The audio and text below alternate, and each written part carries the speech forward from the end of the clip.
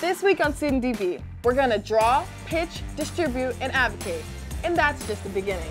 Join us for Student DV Saturdays at 10 a.m. on SECC 15.